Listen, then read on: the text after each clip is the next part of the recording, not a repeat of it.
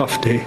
Toronto Maple Leafs coach Mike Babcock, who grew up in Saskatoon, giving voice to a nation's grief tonight following a horrific bus crash involving the Humboldt Broncos, a junior hockey team from Saskatchewan. Fifteen people were killed and more than a dozen others injured when the bus was T-boned last night by a transport truck. The team was made up of players between the ages of 16 and 21 from the provinces of Saskatchewan, Alberta, and Manitoba. They were on their way to Nipawin, a town about 270 kilometers northeast of Saskatoon, when the crash happened on Highway 35.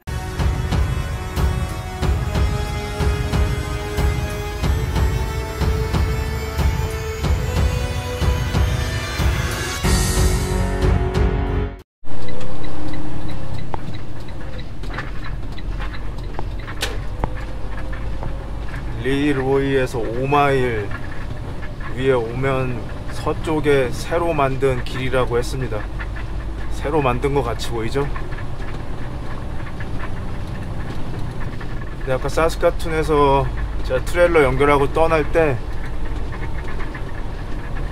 그 기름 공장에서 저희 회사 차 한 대가 나오더니 제 뒤에 따라오더라고요. 아마 같은 데 가는 것 같습니다.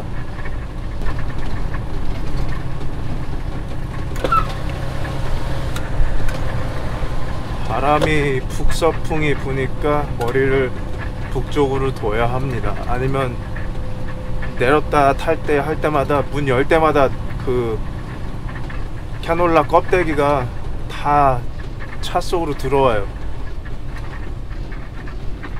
새로 만든 야드네요. 다. 다 새거 같이 보이네.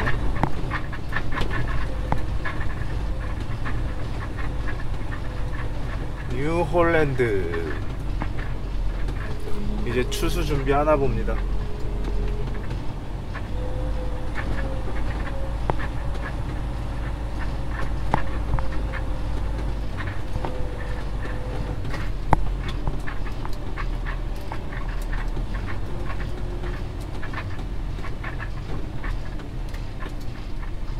지금 시간 3시 33분 씻기 시작했는데 지금 빈 하나가 다 비어서 안에를 빗자루질을 할지 아니면 다음 빈으로 그냥 옮길지 모르겠습니다.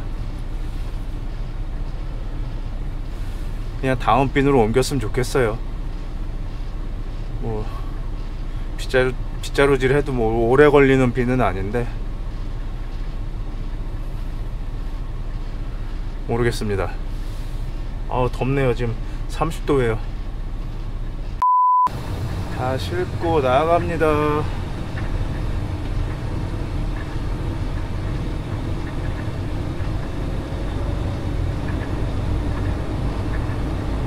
이 빈이 몇 개요?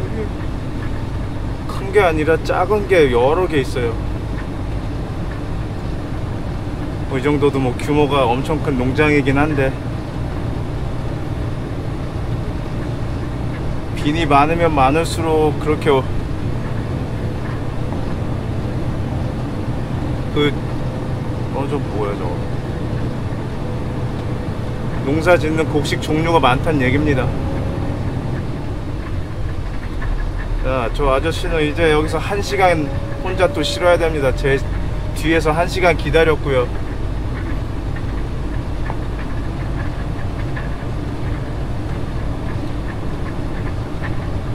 같이 도착했어도 제가 다음 하차지까지 제가 한 시간 먼저 간다는 얘기예요. 이게 일주일 내내 반복되면 사람이 지칩니다. 저도 지치고 저 사람도 지치고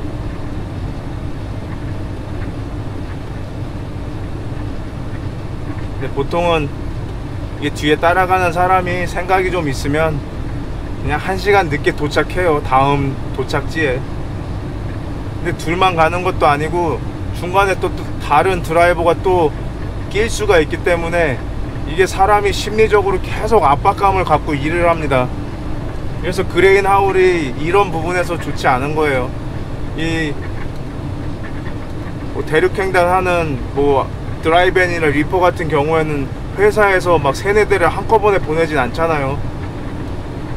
다 여기저기 분산시켜 놓지 그만큼 일이 많지도 않고요 근데 제가 하는 일은 하루에 하나 아니면 두 개 가서 싣고 갔다가 다시 오는 일 그런 일정이 있기 때문에 하나 두 개를 일을 남보다 늦게 못한다 그러면 한 달로 치면 그 월급이 1000불에서 2000불 차이 나는 경우도 있어요. 그래서 저희는 한 달에 얼마 버는지 서로 공유하지 못하게 돼 있습니다.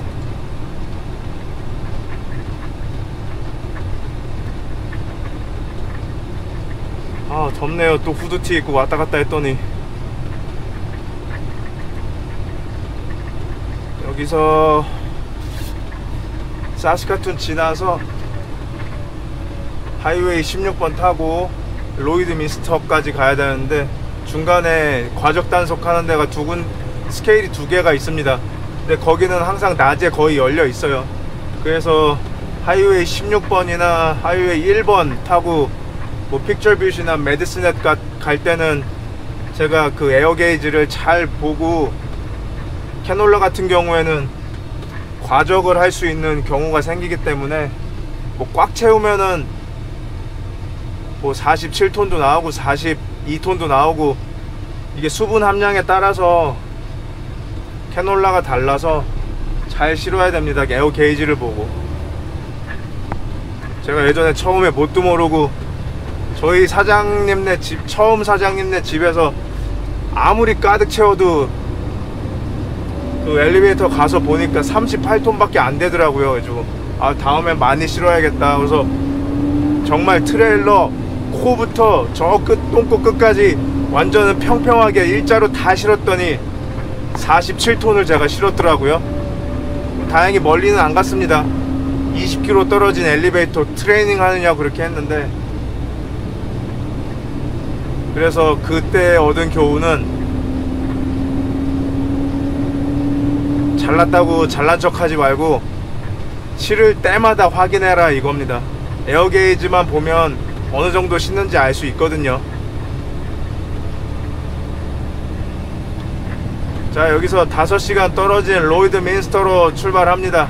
지금 가면 지금 가도 9시네요. 가서 도착해서 제가 아까 트럭 고치는 동안 샤워는 하고 왔고요 truck stop에서 가는 동안 화장실이나 한번 들렸다가 가서 자, 그 엘리베이터 앞에서 자고 내일 아침에 7시에 하차하고 나면 내일 캐놀라 싣고 돌아오는 사스카툰으로 돌아오는 로드가 벌써 나왔습니다. 그거 싣고 내일 아마 저녁 때 여기 와서 또 내리고 나면 그 이유는 모르겠습니다. 저희는 이게 제, 지금 제 뒤에 아저씨랑 둘이 같이 가게 되면 지금 제가 실기는 먼저 실었어도 아침에 저 아저씨가 먼저 내리게 되면 저 먼저 저 아저씨가 먼저 일을 받습니다. 그게 약간 부당한 게 좀 그런 거예요. 지금도 아까 그 사스카툰에서 거의 동시에 출발했거든요 앞뒤로. 근데 회사 컴퓨터에서는 그렇게 멀리 떨어진 거리까지는 잘 안 나오고 둘이 동시에 가고 있는 것만 나옵니다. 근데 제가 여기 도착하자마자 이 다음 로드를 받았어요. 근데 저 아저씨가 저보다 한 500m 뒤에 있었거든요. 그래서 저희가 경쟁을 안 할 수가 없어요. 만약에 이 다음 일이 없으면 저는 load를 받는데 저 아저씨는 로이드 민스터에서 회사까지 3시간 빈 차로 내려와서 그냥 집에 가는 겁니다 저는 다음 일정들을 계속 하더라도 이게 또 멀리 보내려면 다음 일이 있어야지 가는데 없으면 안 보내고 집에 보내거든요. 이거를 이해하셔야지 이 grain haul 일하는 거를 이해하실 수 있습니다. 뭐 일이 항상 있는 것도 아니고 일이 항상 없는 것도 아니기 때문에 일단 먼저 가서 집에 가더라도 도착을 먼저 해야지 다음 일을 받을지 집에 갈지 알기 때문에 그래서 회사에서도 약간 머리를 써서 직원들 열심히 일하게 하려고 더 경쟁을 붙입니다. 어쩔 수 없어요. 더 열심히 해야지 회사에서는 그 저희가 만들어 오는 수입이 있으니까 그 부분에서 저희가 커미션을 받는 거기 때문에 그 커미션 받는 거 솔직히 그 한탕 한탕 하면 별로 안 되거든요. 일주일, 2주, 한 달 모아야지 좀 크지. 그래서 이거 경쟁하기 싫은 사람들은 그냥 그거 한탕 안 하고 뭐 한 시간 일찍 가서 뭐 하냐 어차피 일이 있을지 없을지 모르는데 그래서 그 경쟁력 그러니까 어렸을 때부터 경쟁 안 해본 사람들은 이게 초반에 지쳐서 1년 안에 그만둡니다. 근데 또 한국 사람들은 유치원 때부터 경쟁하는데 길들여져 있잖아요. 뭐 유치원 원하는데 가고 싶으면 또 가서 장판 깔고 전날부터 기다려야 되죠. 아니면 외곽에 아무데나 남는 데 가는 거고. 여기도 똑같습니다. 캐나다도 일하는 것도 똑같고 여기 애들은 그런 걸 해본 경험이 없기 때문에 그냥 애초에 포기를 합니다. 경쟁 같은 거 하고 싶지도 않고 뭐 이거 안 해도 다른 일 할 거 많으니까 농장만 가도 이거보다 약간 적게 벌어도 집에 매일 들어갈 수 있는 일이 많습니다 저는 왜 안 하냐고요? 저는 동양인이라 안 써줘요. 동네에서 그 지인, 혈연 이런 거가 제일 먼저입니다. 그래서 이민자들은 대도시에서밖에 일을 구할 수가 없는 거예요. 대도시에는 이민자들이 많고 또 일자리도 많고 하다 보니까 어쩔 수 없이 쓰는 겁니다. 이 시골 와보면 다 뭐 구인 공로 같은 거 안 나와요. 너 아는 사람 있냐? 그 사람 먼저 채용할게. 너 친척 아는 사람 있냐? 그리고 이 시골에서는 다 농장 일을 할 줄 알기 때문에 어떻게 돌아가는지 알기 때문에 그 사람들이 경력상 더 뽑기 쉽고요. 한국에서 도시에서 일하던 사람이 여기 와서 트랙터 운전하라 그러면 처음에 할 수 있을까요? 근데 여기 애들은 10살, 11살만 돼도 벌써 동네에서 그 풀 깎는 기계 그거 타고 돌아다닙니다. 그거 타고 경주하는 저희 동네에 그 경주하는 그 경기도 있어요. mower race라고 해갖고 참 별걸 다 합니다. 저는 요 앞에 하이웨이 5번을 타고 서쪽으로 험볼트 쪽으로 갑니다.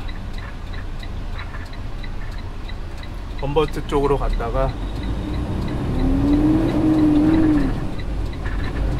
사스카툰 통해서 로이드로 갑니다. 아, 요 트럭이 깜빡이를 일찍 켰으면 제가 진작 나왔을 텐데 여기 다 와서 켰어요. 이래서 저희가 깜빡이 미리 키라는 겁니다. 저희는 갑자기 나올 수가 없으니까.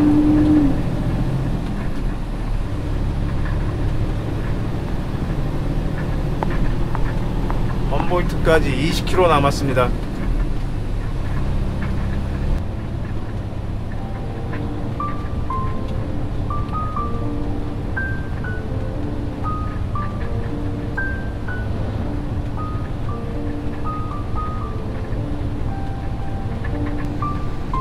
지금 사스카치안 험볼트라는 타운에 들어가고 있습니다. 저는 이 타운을 지나갈 때 웬만하면 라디오도 끄고 그냥 조용히 지나갑니다. 이게 트럭 드라이버로서 좀 엄숙해지는 타운이거든요. 뭐 제가 저지른 건 아니지만 저도 여기서 트럭 일 하는 그 트럭커 입장으로서 정말 이 타운에 있는 사람들한테 미안합니다.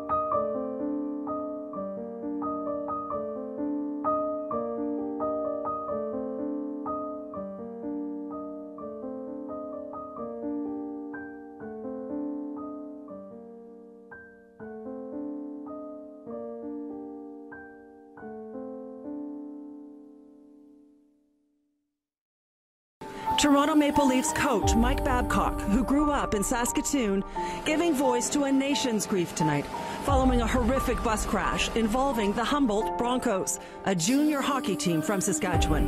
Fifteen people were killed and more than a dozen others injured when the bus was T-boned last night by a transport truck. The team was made up of players between the ages of 16 and 21 from the provinces of Saskatchewan, Alberta, and Manitoba. They were on their way to Nipawin, a town about 270 kilometers northeast of Saskatoon, when the crash happened on Highway 35. It's a town of 6,300 in Saskatchewan called, called Humboldt, and sadly, it's now known to people all over the world because of what happened last spring. 16 people died, 13 others were injured in a bus crash carrying the Humboldt Broncos across a country road on their way to play a playoff game. With Canadian Prime Minister Justin Trudeau reminding them that they had 37 million cheering them on their return to the ice tonight. April 6th, the night that so many of their finest were lost in a bus crash, jerseys shown pregame, surviving players who are no longer on the team would walk out to the ice as well. And uh, as you can imagine, it would be a night of uh, remarkable emotion. Please remain standing and remove your hats if wearing for a moment of silence as we pay respect to the Humboldt Broncos players and staff of April 6th.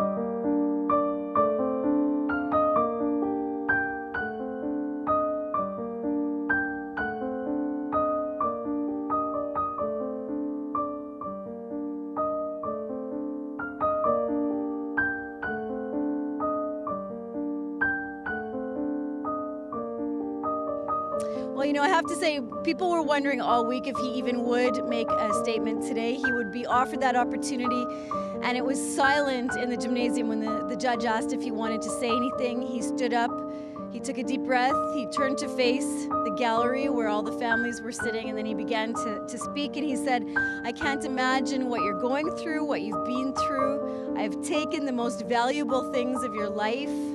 I got out of the truck and I heard people crying. He said he didn't realize that it was a bus at this crash scene. I take full responsibility for what has happened, he said. It happened because of my lack of experience. I will be so, so, so sorry from this day. Just made my heart feel better. It's a tragedy for everyone. No one wins here. Here,